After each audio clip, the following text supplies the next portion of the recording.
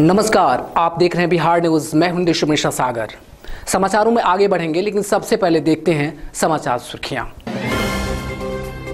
चिड़ियाघरों के मध्यम वर्गीय पदाधिकारियों का प्रशिक्षण कार्यक्रम का आयोजन संजय गांधी जैविक उद्यान में हुआ। हाजीपुर की जेल में तैनात पुलिसकर्मी की अपराधियों ने मारी गोली, घटनास्थल पर ही हुई मौत।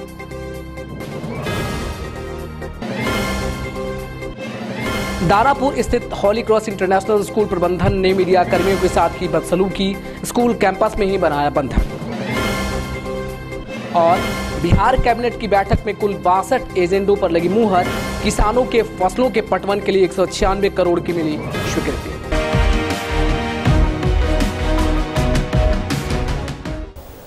और अब समाचार विस्तार के साथ देखते हैं।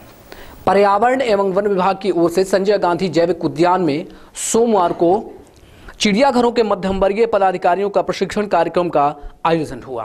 कार्यक्रम का उद्घाटन उप मुख्यमंत्री सुशील कुमार मोदी ने किया। इस मौके पर उप मुख्यमंत्री सुशील कुमार मोदी ने कहा कि गेंडा प्रजनन केंद्र का निर्माण जल्द जैविक उद्यान में किया जाएगा। इसके लिए प्रक्रिया पूरी कर ली गई है। वो बहुत कम चिड़ियाघरों में, मैं कम सात चिड़ियाघरों में गया लेकिन ब्रोशर्स दिखाई नहीं पड़ते। एक वेल डॉक्यूमेंटेड बढ़िया ब्रोशर आप दो रुपया टिकट बढ़ा दीजिए। लेकिन आप विदेशों में जो लोग गए होंगे तो कोई भी चिड़ियाघर तो छोड़ दिए, कोई भी इस प्रकार की चीज़ है। वहाँ पर एक बढ़िया ब्रोशर जो लोग आने के बाद, मैं अमेरिका गया बीस साल पहले, अभी भी मेरे पास है वहाँ के जितनी विजिटिंग प्लेसेस थे, सबके ब्रोशर अभी भी प्रिजर्व करके रखा हुआ है। हमने काफ़ी बड़ी संख्या में इस तरह से स्पेसीज को जोड़ने में मदद की है। और मैं सेंट्रल जू अथॉरिटी से भी आग्रह करूँगा इस एक्सचेंज के काम में आपकी और अधिक मदद की आवश्यकता है। आप थोड़ा और करते भी होंगे, मुझे पता नहीं है।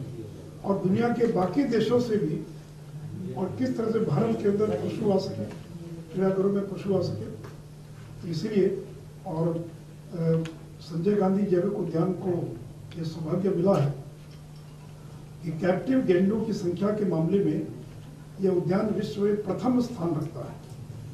और इसमें कैप्टिव जो राइनोज हैं, उनकी संख्या 12 है।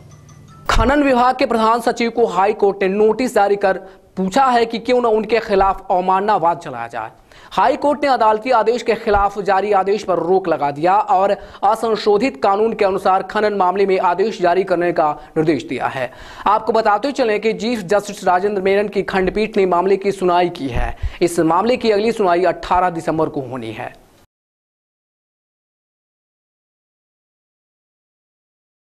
एक बार फिर बेखौफ अपराधियों का कहर देखने को मिला है। बेहटा के अमराहा में अपराधियों ने मुर्गा कारोबारी की गला दबाकर हत्या कर दी और शव को सुनसान इलाके में फेंक दिया। शव मिलते ही इलाके में सनसनी फैल गई। फ़िलहाल पुलिस मामला दर्ज कर छानबीन में जुट गई है।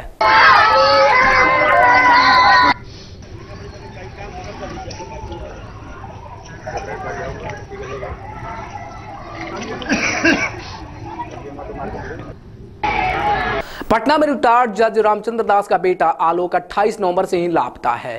थाने में ही मामला थाने में मामला दर्ज होने के बाद भी कोई कार्रवाई नहीं हुई, तब परिजनों ने एसएसपी से गुहार लगाई। परिजनों का कहना है कि घटना के दिन से ही युवक का फ़ोन बंद है। वही एसएसपी ने कार्रवाई का भरोसा दिया है।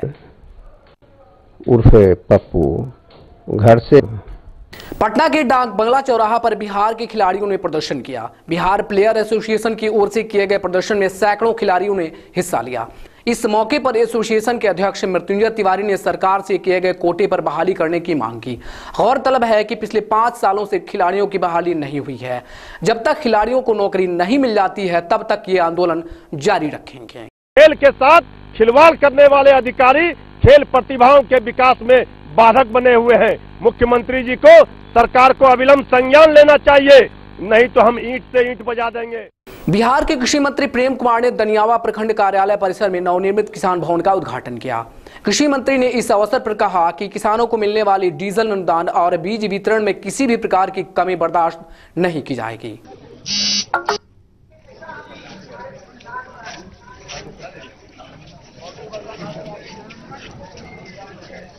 मैं आग्रह करता हूँ परियोजना निदेशक करता हूँ, पुनः जिला कृषि पदाधिकारी महोदय से कि हमारे परम आदरणीय हाजीपुर के जेल में तैनात पुलिसकर्मी को अपराधियों ने गोली मार दी। घर से जेल जाने के दौरान जेल गेट पर अपराधियों की गोली से पुलिसकर्मी की मौत हो गई। आपको बताते चलें कि मृतक सिपाही सैब का जवान था और जेल में कक्षपाल के तौर पर तैनात था। सोमवार की सुबह सिपाही दीपनारायण रॉय सदर थाना क्षेत्र के लाल पोखर से जेल ड्यूटी जाने के लिए निकला था कि वही जेल के पहले अपराधियों ने सिपाही को सिर में गोली मारी जिसे तुरंत अस्पताल में भर्ती कराया गया। जहाँ अस्पताल पहुँचने पर डॉक्टरों ने सिपाही को मृत घोषित कर दिया। उधर घटना के कारणों का खुलासा अभी नहीं हो पा, पाया है। क्या हुई है सर? बता दिया ये एक दीप नारायण जी हैं जो जेल पर काम करते रिटायर्ड आर्मी थे वो। तो वहीं पर रिटायर के बाद वहाँ पर ये ड्यूटी थे और बगल में ही घर था। तो आने के क्रम में ड्यूटी के जाने के क्रम में किसी ने गोली मार दिया हम लोग जाँच कर रहे हैं। क्या मौत हो गई सर? हाँ मौत। दानापुर में हॉली क्रॉस इंटरनेशनल स्कूल प्रबंधन की गुंडागर्दी देखने को मिली है। एक संवाददाता सम्मेलन के दौरान प्रबंधकों ने मीडिया कर्मियों के साथ दुर्व्यवहार किया और फिर स्कूल के कैंपस में ही मीडिया कर्मियों को बंधक भी बना लिया। बताते चले कि कुछ दिन पहले ही होली क्रॉस स्कूल में एक कर्मचारी ने छात्रा के साथ रेप की कोशिश की थी जिसके बाद जमकर बवाल भी मचा था। और इसी को लेकर सोमवार को प्रबंधन ने प्रेस कॉन्फ्रेंस बुलाई थी लेकिन यहाँ पर मीडिया कर्मियों के साथ बदसलूकी हुई और उन्हें स्कूल कैंपस में ही बंधक बना लिया गया। इस समय नारा निकलवा रहा है। अभी बदमाशी किया और नारा निकलवा रहा है। ये नारा निकलवा रहा है। गाली गाली दे रहा है मीडिया वालों को बच्चा कहीं पढ़ाई नहीं सारा जीवन बर्बाद कर रहा है। अररिया युवा कांग्रेस ने राहुल गांधी के राष्ट्रीय अध्यक्ष चुने जाने पर जश्न मनाया। इस मौके पर युवा कांग्रेस अररिया अध्यक्ष नाजिश हलीम एवं कांग्रेस कार्यकर्ताओं ने आतिशबाजी कर पार्टी के पक्ष में नारेबाजी करते हुए शहर में मोटरसाइकिल जुलूस निकाला। यह जुलूस कांग्रेस कार्यालय से प्रारंभ होकर शहर के चांदी चौक पर समाप्त हुआ। इस मौके पर दर्जनों की संख्या में कार्यकर्ता शामिल थे।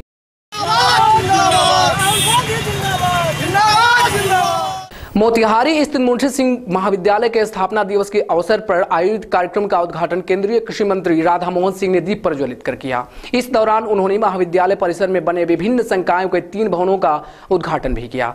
वहीं उन्होंने कॉलेज के स्थापना दिवस कार्यक्रम के अवसर पर चंपारण में गांधी विरासत और सियासत विषयक सेमिनार में हिस्सा भी लिया, जिसे संबोधित करते हुए केंद्रीय कृषि मंत्री राधा मोहन सिंह ने गांधी के सत्य और अहिंसा को आधुनिक इतिहास के लिए प्रासंगिक बताया।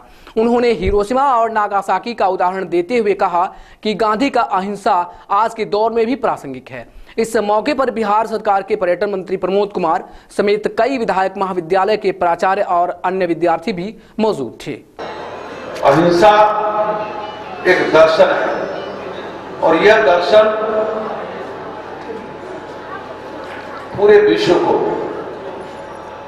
महात्मा गांधी जी ने उत्तर बिहार नक्सली संगठन के जोनल कमेटी का सदस्य दिनेश और नक्सली मुस्ताक को पूर्वी चंपारण पुलिस ने उसके दो साथियों के साथ गिरफ़्तार किया है। गिरफ़्तार नक्सलियों के पास से पुलिस ने 10 ज़िंदा कारतूस, तीन खोखा, पाँच डेटोनेटर, ग्यारह हज़ार रुपए नकद, एक देसी पिस्टल, तीन मोबाइल, छह सिम नक्सली पोस्टर और लेवी वसूली की रसीद को भी बरामद किया है। दरअसल पुलिस को सूचना मिली थी कि पताही थाना के परसौनी कपूर गाँव के एक बागीचा में नक्सलियों की बैठक होने वाली है, जिसमें कई हार्डकोर समेत जोनल स्तर के नक्सली भी पहुँचने वाले हैं। मिली सूचना के आधार पर पुलिस ने एक व्यापक रणनीति बनाते हुए तीन थानों की पुलिस के साथ छापेमारी की, जिसमें तीन नक्सली पुलिस के हत्थे चढ़ गए। बाकी नक्सली भागने में कामयाब रहे। वही पुलिस इस गिरफ्तारी को अपनी एक बड़ी सफलता मान रही है।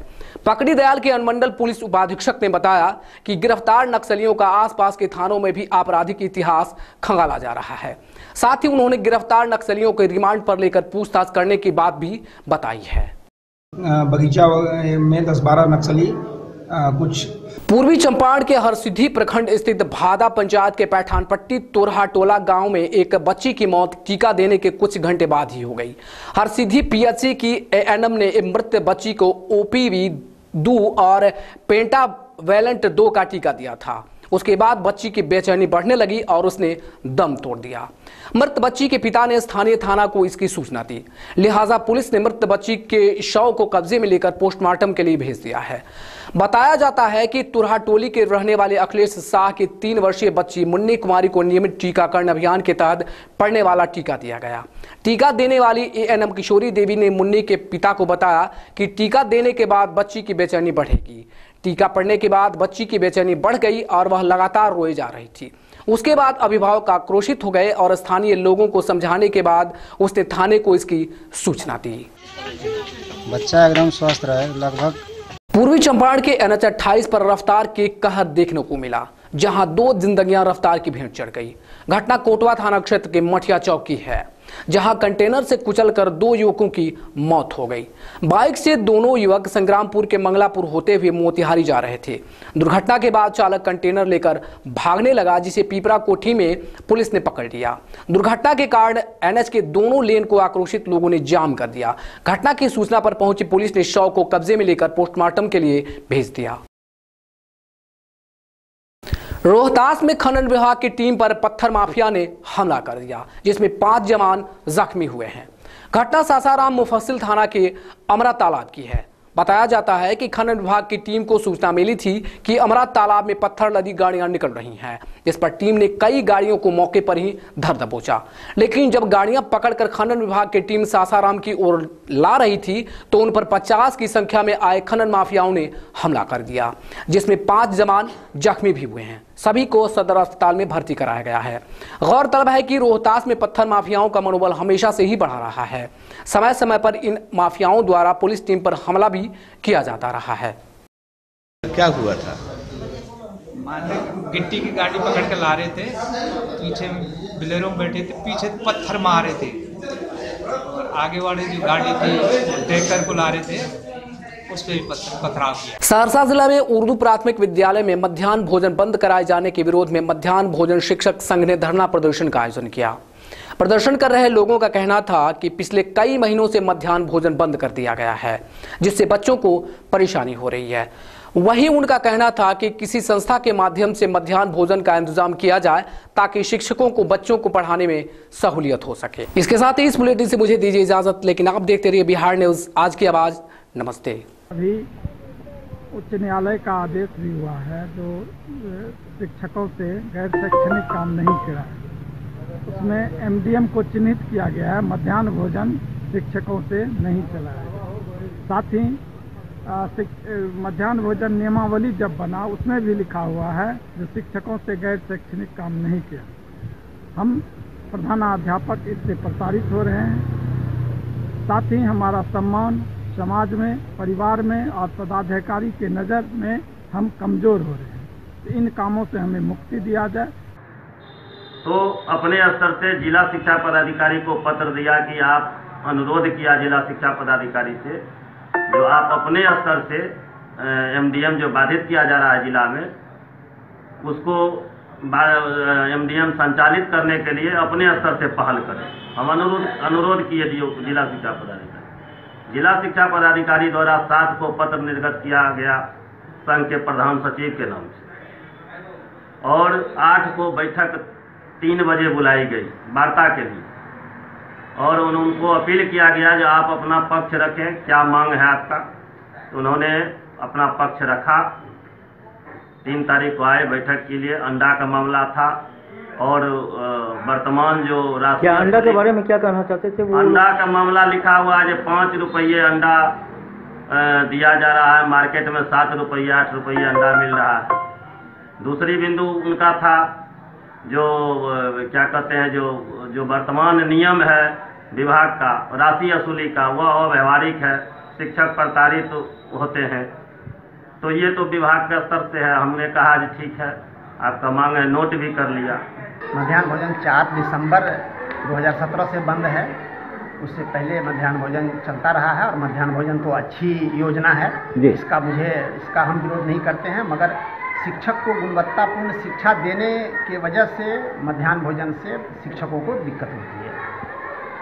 और मैंने यानी आप संघ के आदेश पर ये बंद किए हुए हैं हाँ। कि मात्र सहरसा जिला में। जी संघ हाँ संघ का आह्वान है कि शिक्षकों को मैंने प्रताड़ित किया जाता है, जिसकी वजह से मध्यान्ह भोजन संघ के आह्वान से बंद है। बच्चों के लिए उपयोगी है। निश्चित रूप से यह चले, लेकिन एनजीओ के द्वारा चलाया जाए या सरकार और महकमा से चलावे, शिक्षक को पढ़ाने के लिए से। तभी गुणवत्तापूर्ण शिक्षा आ सकती है। आज की स्थिति जो है मध्यान्ह भोजन के चलते हमारा शिक्षक बदनाम हो रहा है। पदाधिकारी की भी उल्टी गिनती होती है। रिकवरी के लिए जो ऑर्डर आया है जी, जी। उसमें भी दिया है कि एक सप्ताह का और एक तीन महीना का जोड़ के रिकवरी कीजिए। किसी से साठ हज़ार किसी से सत्तर हज़ार रिकवरी का पत्र निकल गया। इसके साथ ही इस बुलेटिन से मुझे दीजिए इजाज़त लेकिन आप देखते रहिए बिहार न्यूज़। आज की आवाज़ नमस्ते।